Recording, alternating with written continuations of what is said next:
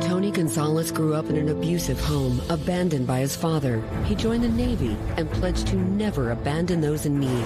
When crisis hit our border, Tony Gonzales was the first there. Border Patrol agents are doing everything they possibly can. And when tragedy struck Uvalde, Tony worked across party lines to deliver the school safety our children deserve.